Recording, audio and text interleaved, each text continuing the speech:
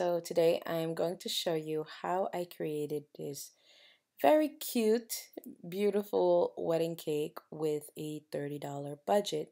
I will mention the prices for everything and show you step by step how I created this alright so of course every cake video needs the part where you cut a slice. So this is that part. So yeah all right, let's get started. You're going to need four boxes of cake mix. Any cake mix you like. I am using the Super Moist cake mix. I'm not going to mention all the brands because none of these people are paying me, okay? But get any brand that you like, all right? And follow the directions on the box of cake mix that you get. The only different thing you're going to do or add to your cake mix is pudding mix.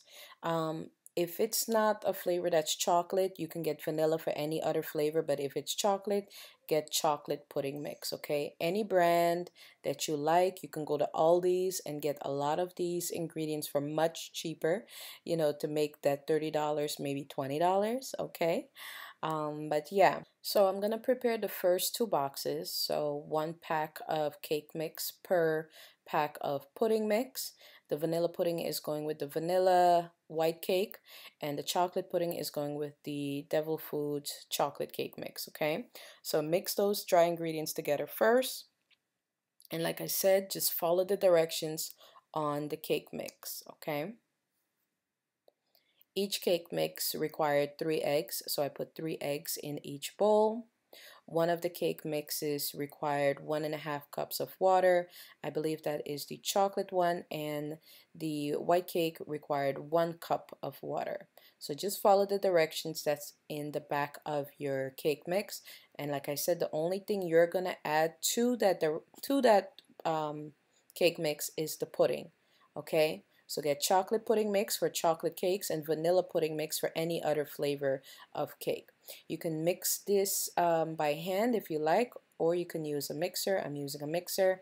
I was doing this late at night because, you know, kids and I have a new baby, so she was sleeping, so I had some extra time to get this done, okay? My baby's about two months old, so you know, I don't have that much free time these days, but I wanted to get this done because I usually bake one of my kids a big birthday cake every year. I do bake them all cakes, but just I always around this time bake a big cake for her. So I was like, well, I guess she's getting a wedding cake for her birthday this year. all right, so we're going to create a marble cake. And like I said, you can use any flavor you like. You can use a red velvet with a classic white cake mix or vanilla cake mix. You can use white cake mix with like, I guess, carrot cake mix. It's totally up to you. Get creative. But I picked these cake mixes because of the price. They were on sale for a dollar per box. The pudding mix was also on sale for a dollar per box. And I did not include the price of the eggs or the um, vegetable oil in the list of you know the things required to make this cake because I'm assuming you already have eggs at home. And you know certain things that you would regularly have cooking oil vegetable oil and eggs. So for four boxes of cake mix you're going to need 12 eggs. A dozen eggs is about a dollar. Um, even in Wally World I believe a dozen eggs right now is 98 cents. It is 2020, the year of 2020, so I don't know how long this video is going to be up, but right now it's 98 cents for a dozen eggs, okay? Um, if you go to another uh, supermarket, they're 88 cents for a dozen eggs. So once you have both of your cake mixes mixed, um, by the way, I suggest if you're using a um, electric cake mixer like this, do the vanilla first, then work on the chocolate because I did the chocolate first, and then I had to go wash off the the mixing bits, okay, and then do the vanilla. So do the vanilla first, then you can go right into the chocolate. It won't make a difference. All right, so once you have everything mixed, you're gonna get your pans ready. You can use stick butter, you can use non-stick spray. I don't judge. Do what works best for you. I know there's a lot of people that judge and all this. Do what works best for you, okay? Whatever gets your cake out of the pan. I have three pans here. I have two 9 inch pans and I have this smaller 6 inch pan. Okay, so I'm spraying my pans with a non-stick um, baking spray and I'm going to line them with some parchment paper that I cut to just line the bottom so my cakes come out much easier. Okay even with the cooking spray they'll come out right away but with the paper at the bottom they come out really really nice and have a smooth bottom. Okay so I'm gonna put in my white or vanilla cake batter in first and I'm gonna try and put even amounts in the first two cake pans if you have a food scale, you can definitely use that, but I'm just going to eyeball this and try my best to just get, you know, even or equal amounts of batter in each pan, even the small 6 inch pan, okay? Try to spread it out just a tiny bit with your um, spatula. I know I need a new spatula. This one is struggle. I've had it for a very long time, okay? I'm to get another one, I promise. Um, but yeah try to get even amounts. So this is one box of cake mix okay? Once I'm done baking this first set of cakes I'm gonna go ahead and redo the same process again with the cake mix pudding mix and everything and bake another set of cakes okay? So you're only seeing the first two boxes. I'm gonna do this again. That's why I'm saying four boxes okay? So you you understand me I hope you understand it okay because I don't have six pans, you know, and I don't want to cut the cakes. You know, cutting cakes creates more crumbs and, and it's just too messy. Okay, so to avoid cutting the cakes, I'm just gonna bake these cakes, let them cool down, take the cakes out, wash the pans or not wash the pans, remix more batter and bake cakes again. You can use all six cakes if you want to, so that means all four of the 9 inch cakes and both of the um, 6 inch cakes, but I only used three of the 9 inch cakes and two of the 6 inch cakes because my kids wanted to eat one of the cakes, okay, the next day. So, um, yeah, I only ended up using three of the nine inch cakes. So once you have your white batter or vanilla batter down and you have your chocolate on top of it, you can use a fork or a spoon. I'm using a butter knife and you're just going to swirl this together to create that marble effect because I am making a marble cake, marble type chocolate vanilla cake. Okay vanilla pudding cake. Yes, that's basically what it is. Chocolate vanilla pudding cake chocolate vanilla marble pudding cake, marble vanilla chocolate pudding cake, however you want to say that. All right. And these cakes definitely taste homemade. They don't taste like box cake. Okay, just so you know. Okay. Um, but yeah, once you have it swirled together, you want to kind of shake the pan just a bit to get it off the sides. Okay, and you can swirl as much as you like, but don't overdo it unless you just want to end up with just chocolate. Um, you know, when you swirl it, you'll have those different colors in the cake when you slice the cake, okay? So don't over swirl it if you want to have that effect of the white, you know, vanilla color and the chocolate brown color, okay? So we're going to bake our cakes at 350 degrees for 45 to 47 minutes. Make sure you have some toothpicks handy so you can check your cake once it's done. All right, you guys, go ahead and check your cakes at 45 minutes to see if they're done. If they're not, give them two more minutes. So it adds up to 47 minutes. Use your toothpick to, you know, stick the center of your cakes all the way down. If it comes out clean, they are done. If it's still wet, give it the two minutes, okay? Or still moist and sticky and gooey, just give it the two minutes. So it's technically nighttime while I'm doing this. So I'll show you guys how I put these cakes up in the fridge. And the way I do it, it also helps flatten the cake without um, making it dense. Okay, so I like to stack the cake, cakes on top of each other. You can use some plastic wrap or you can use um, some parchment paper. It's totally up to you, whatever you have available. Um, if you have the cardboards, the cake boards around you you can use that as well and put that on top of a cake and then put one cake on top of the other cake. Do not push the cakes down yourself okay? Don't actually try to push them down and force pressure onto them okay? You just leave it that way and it will naturally slowly flatten the cakes. Do not push them down. Yes the cakes are still a bit warm. They're not hot but they are warm. And again do not push them down okay don't push it or else your cake is going to become very dense and you don't want that. You want your cake to still be nice and fluffy. So this is the next morning. This is how they look, okay? And this is without me applying a whole bunch of pressure. You don't want to do that. Alright, you guys, so I'm going to go ahead, now that my cakes are cooled down, I can use the pans again to make my other two boxes of cake mix. So if you're keeping count, four boxes of cake mix, like I mentioned, two boxes of pudding mix, your choice, okay? I'm going to mix those, do the same thing I did, put them in the pans. I did not rewash the pans, I just sprayed them again and put parchment paper in the bottom and put the batter in there. Did my little swirl to get my marble effect and pop them back into the oven um, at 350 degrees for 47 minutes. So here are all the cakes. Well, I'll have all the cakes. But here's the first three cakes that cool down. And I want you to see how they look. Okay. With the parchment paper on the bottom, I feel like you can handle the cakes a bit better and it gives you a nice smooth top to work with. Okay.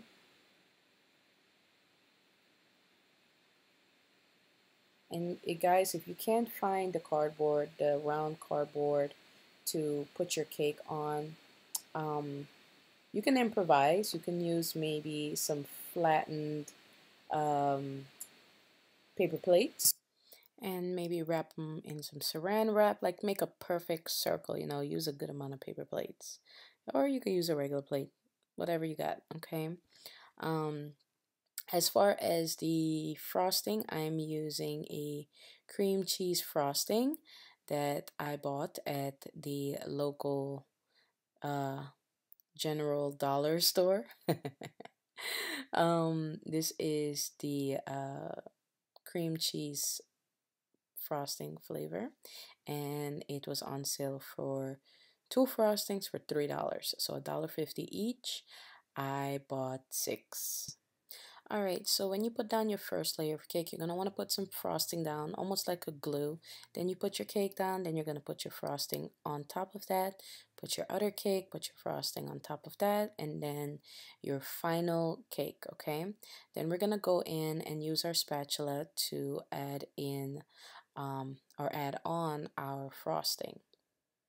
So just take your time Okay, I'm going to speed this up just a bit, but take your time and, you know, put a good amount on there.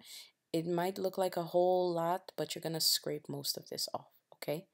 Not, not scrape it off, but you're going to smooth it out. Let's just say that. And this is basically a crumb coat. It's like the primer for a cake. Just like primer for eyeshadow, this is primer for a cake. It keeps all the crumbs sealed in there.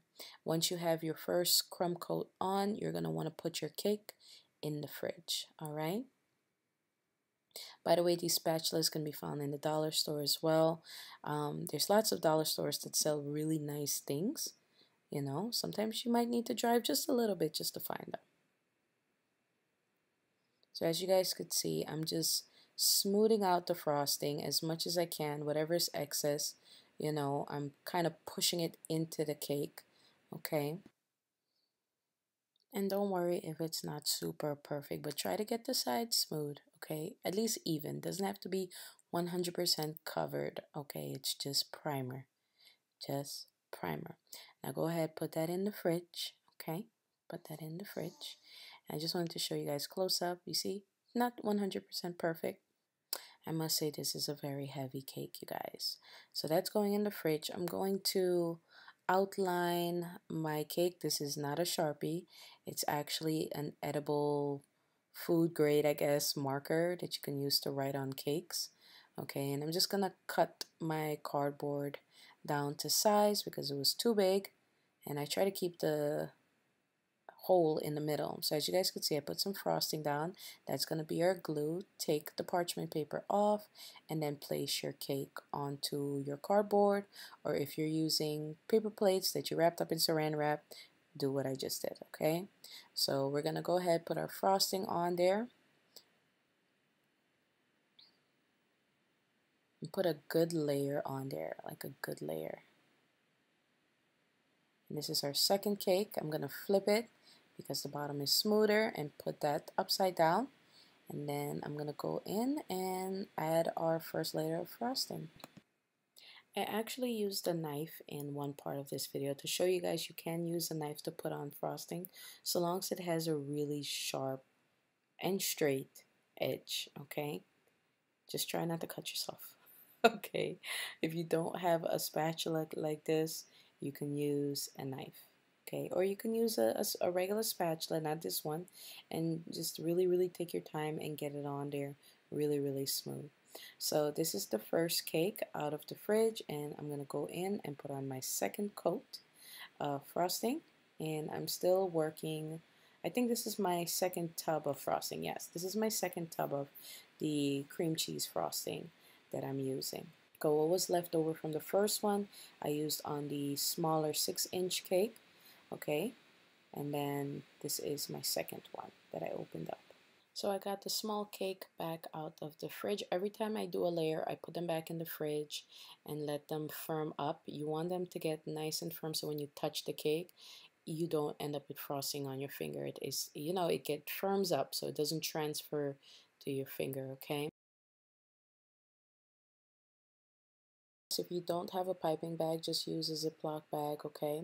Put your frosting in oh. there. You can use a frosting tip like this, or you can just use a spatula. And then you can use a food scraper like this one. You can get it in the dollar store as well. And put your frosting on there.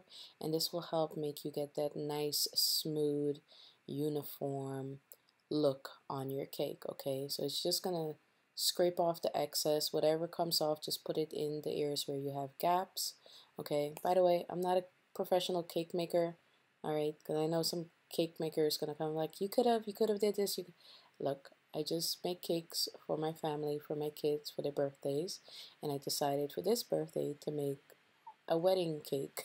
I did plan on making an affordable wedding cake for you guys especially now with COVID and people not being able to have the weddings that they want so they're doing smaller, more intimate weddings. And, you know, a lot of people don't have their jobs anymore or can't afford big weddings. So, this is something you can definitely do that will probably be in your budget, you know, for a small, intimate wedding. Okay. So, I hope you guys do appreciate the effort here. All right. So I decided I wanted to do an ombre look instead of just an all ivory looking cake. So I added some chocolate frosting to the bottom part of the cake and started blending that in. Then I decided to add some more frosting to the top just to get that over with. Okay, just to get that over with. I'm pretty sure the pros do it differently. Pretty sure they do. All right. Oh, here's a tip. Do not put your frosting in the fridge. It gets very hard. Okay, frosting that's already made in those little tubs, it's very hard in the fridge. Okay, so don't put it in there if you know you need to use it on a cake. Alright you guys, so once I have my top layer of frosting on, I'm just gonna blend like my life depends on it here, okay? I'm not gonna lie, this did take some time to blend this chocolate color in and I got a nice thin layer on there. I put that big cake in the fridge, then I started working on my small cake, did the same exact thing. Okay, did the piping bag, put the frosting on, and then put the chocolate on the bottom and started to blend till I got a nice transition that I like. So as you guys could see, like my turntable for this cake is not working. Like I've had to turn it the whole thing with my hand. You see my cake is slanted because the table thing, the turntable doesn't work. The little bead track that usually is inside the two pieces that makes it easy to turn it around is missing. So it's kind of just, it's just a stand really, okay? Anyways, so use your spatula to help smooth the top of your small cake and you can put this one in the fridge, okay? You can do the circular design on the top of the cake right away if you want, but I just smoothed it off and I put it in the fridge because it was late, okay? And then that morning I decided to start working on the big cake. Just want to let you guys know the reason why it took me you know, two nights basically to make this cake is because I am a mother of four. I just had my fourth baby. She's two months old. You know, some of you guys already noticed. So if you're new to the channel, that is why, okay? And I just showed there that I did use a knife. I promise I show you guys that I did use a knife to smooth the cake out as well. So if you don't have a spatula like this, you can use a knife so long as it is straight. Just be very, very careful, okay? Alright, so I'm just going to make like this like twirly textured design on top of the big cake and then I'm going to carefully place my smaller cake in the middle. It could be a little bit off center if you like, if you want more, um, you know, of the bigger cake to have more space in the front for decorations and things like that. If you have any mistakes, just go in with your spatula or a butter knife and fix it up as best as you can. And then on the top, I'm just going to add just a bit more of the cream cheese frosting and just kind of make like a swirly design on the top. It's a rustic cake. Let's just call it a rustic cake, okay? All right. So now to create that drape effect that you guys saw in the beginning of the video. I'm using fondant that I also got from the dollar store. It was $5 for one box. I would not recommend using this for an entire cake because it does dry out very, very quickly and the texture is almost like elephant skin. Like it just doesn't look good. But for this video, it's fine. It's okay for just, you know, small decoration. I would not put this on an entire cake. By the way, if you're rolling on out fondant, it is very sticky sometimes. So use some cornstarch or confectioner's sugar to keep it from sticking onto your you know, very clean countertop. So if you're going to do this on your countertop, clean your countertop. Or if you're using a cutting board, you know, I would cover that in foil, then do this so it doesn't stick onto the wood, okay? So you're to need some shish kebab sticks to create the illusion of like drapes. So this is the part um, of the cake that is draped onto the cake. And as you guys could see on the sides of the fondant, it's already cracking. Even though I cut off the first part to make it nice and uniform, it started to crack again. So I'm just to cut this off real quick okay? And then once I have my draped shape you know what I mean? Like it's like gathered together like that I'm going to squeeze the ends and bring it together so it keeps the shape and then quickly put it onto my cake okay? While it's still warm from coming out the microwave you do need to microwave this fondant just a tiny bit just for 20 seconds just to make it easier to work with before it dries out you know, it just doesn't look good. So you have to hurry up while it's still warm, you know, so roll it out quick, get it nice and flat, put your shish kebab sticks underneath. You need about four of them underneath and about two or three on top. It, it just depends on how many gathers you want. Okay, so as you guys could see, I'm just gonna drape it onto the cake where I want it to be so I get the top part attached and I kind of let it naturally go into whatever position it wants to fall in and I just lay it down okay? And I'm pretty much doing the same thing with the second one. So this is after I've rolled it out I cut off the parts that I don't need and then you just bring it back together to make the gathers. I put the shish kebab sticks underneath it and I put some on top of it and remember they have to go in between the spaces on top. Does, does that make sense? I hope it makes sense okay? So when you put the shish kebab sticks on top make sure it goes in between the shish kebab sticks that are underneath it. This way it creates those gathered, you know, that textured look like it's fabric draped onto a cake. I'm going to add flowers to this cake. I was going to do those pink flowers that are on the bottom left there, but I changed my mind. I wanted to do white flowers. These are um, synthetic. I was going to say synthetic. These are not real flowers. They're fake flowers. You can use fresh flowers if you want, but that will definitely bump up your budget, but it will make your cake look a lot more high-end, I feel. Okay, but these are white hydrangeas. Um, I got these from Wally World. I washed them really, really well before putting them onto my cake. And, you know, if you want to use real flowers, make sure you don't stick the actual stem of the flower into your cake. You want to cover that or put a um, toothpick on it before you stick it into your cake. All right, so you know, the added flowers just give it a very wedding vibe.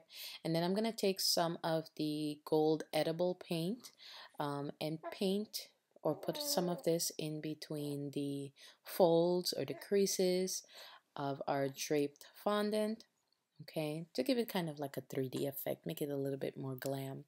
All right so here i'm going to show you guys how i made those gold feather looking things. I don't know what else to call them. So I boiled some water in a, you know, in a little saucepan or sauce pot. And then I put a stainless steel bowl over that, creating like a double boiler situation. And then I put about a half cup worth of white chocolate morsels or white chocolate chips in there and just you know moved it around with my spatula my spatula my spatula till it melted okay? I didn't add anything extra in there and this is not directly on the stove. So I boiled the water put the pot on my countertop and then put the bowl on top of the pot. So the heat from the pot is warming up the bottom of the bowl and helping to melt the chocolate okay? So this is what I use once your chocolate is melted, put down a piece of parchment paper. That's where you're going to create these feathered out um, shapes of white chocolate. Um, I want it to kind of look like a, like a, almost like, you know, when you, like a, I don't know how to explain it, like a big splash. Yeah, a big splash or feathered out fan of feathers. Look, it was late and I was trying to get creative here. I actually made these oh. the night I baked the first batch of cakes, but I decided to put this part of the video towards the end of the video to show you guys, you know, how I made this because I think it would have been confusing to keep it mm. towards the beginning of the video, okay? So this was actually made the night that I made the first batch of cakes, okay? So once you have it feathered out, you like your shape, go ahead, use a toothpick or you can cut a shish kebab stick. I had shish kebab sticks, so I cut them and put it in the bottom part. Put a bit more of the melted chocolate on top of the stick. This is going to hold it in place. And this way you can easily take it off of the parchment paper and put your gold paint or whatever you have on it and then put it into your cake, okay? So I'm going to speed up the video and do three more so you guys could see how easy it is to do.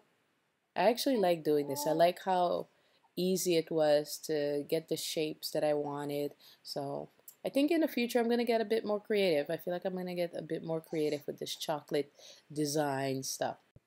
Make sure you put this in the fridge so that they can harden up.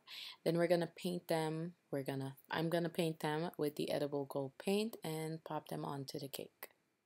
So you see they're not hard to make, not at all. The one thing I do have a complaint about the edible gold paint because when I was reading the description it said that it can be used on multiple, you know, edible surfaces and things like that. But it didn't really like cover the chocolate feathers as good as I wanted them to. It kind of gave it like a wash of gold, which is okay. I'm okay with the wash of gold, but just so you know, it's not going to give you an opaque um, you know, look of gold paint on your chocolate feather fan, feather fan, fan feathers. Okay, so as you guys saw, a piece of my chocolate broke off. I put some frosting on there and glued it back with frosting. We used the frosting as glue. I added some more flowers to make this look just a bit more realistic cleaned off the plate that I use for my cake and that is it.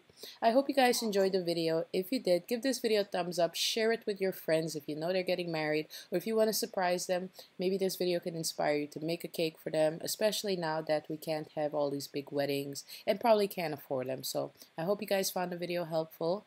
Again, if you did, give this video a thumbs up, comment down below, let me know what you think, and share. Don't forget to subscribe. Love you guys. Bye.